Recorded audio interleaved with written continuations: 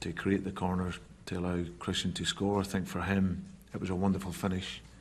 Know, there's been no mention of him and his timing of his run. I think if you see Bournemouth, they they walk the line well, so you see them squeezing up uh, to clear the space uh, in the penalty area. But Christian's timed his, his run perfectly. A great ball in. And uh, his athleticism to get up and make the finish was, was first class to give him his goal. And he was a goal scorer and absolutely no point in the move at all. Was he, was he offside?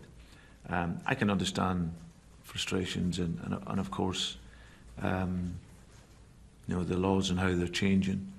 But I think it also what it epitomises really how difficult it is because I thought that the, the officials had done well over the course of the evening.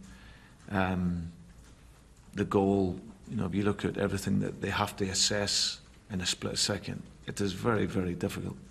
And, and of course, it's been sent around the goal in relation to uh, uh, to say that this is the new rule and this is how it, uh, it shouldn't be a goal. But I think over the course of the season, I think they'll be sending out uh, quite a lot of images. I'm sure because it's it's very very difficult to call. And I think if you if you look at the linesman there, there's going to be lots of actions by players that will be saying offside positions because it's a natural instinct